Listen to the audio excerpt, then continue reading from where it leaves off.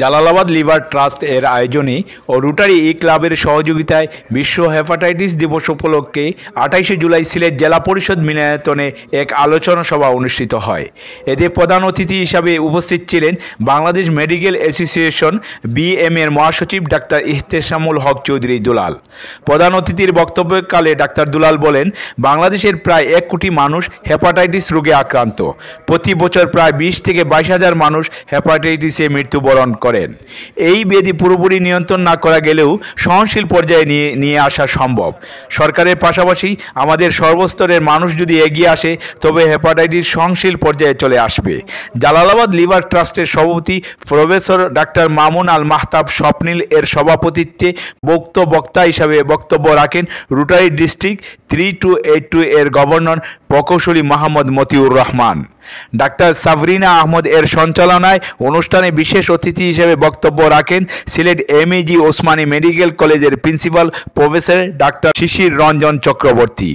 Rotary district three two eight two এর district governor elect H M Foysal Ahmad. Sylhet মহানগর আওয়ামী লীগের সাংগঠনিক সম্পাদক আরমান আহমদ শিপলু। এ সময় অন্যান্য মধ্যে এ সময় অন্যান্যর মধ্যে বক্তব্য রাখেন ও উপস্থিত ছিলেন তৃণমূল নারী উদ্যোক্তা সংস্থা এর প্রধান নির্বাহী কর্মকর্তা হিমাংশু মিত্র। মেট্রোপলিটন ল কলেজের প্রিন্সিপাল অ্যাডভোকেট শহীদুল ইসলাম, সিলেট জেলা প্রেস ক্লাবের সাবেক সভাপতি আল আজাদ, রোটারি ই ক্লাবের পাস্ট প্রেসিডেন্ট এবং বর্তমান রোটারি বর্ষের assistant governor Rotarian Fares Ahmad Chowdhury president Rotarian Enamul Hasan Khan.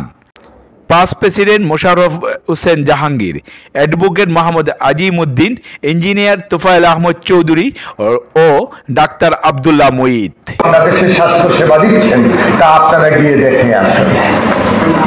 আমি গর্ব করে বলতে পারি, ভারতের নোবেল বিজয়ী পণ্ডিত ব্যক্তি অমর্ত্য সেন বলেছিলেন, ভারত একটি বৃহৎ রাষ্ট্র বটে।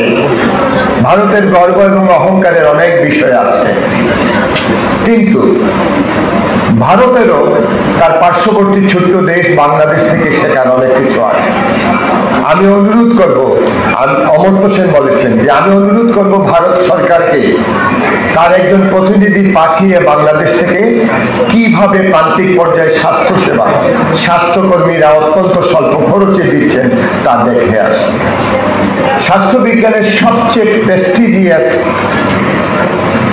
আমাদের যে জার্নাল লান্সেট তার পরপর দুটি সংখ্যায় লিখেছিল, Bangladesh can be the role model of whole world in contact with health care delivery system in the primary health care system এই সকল বক্তব্যের মূলে একটি উপাত্ত বিষয়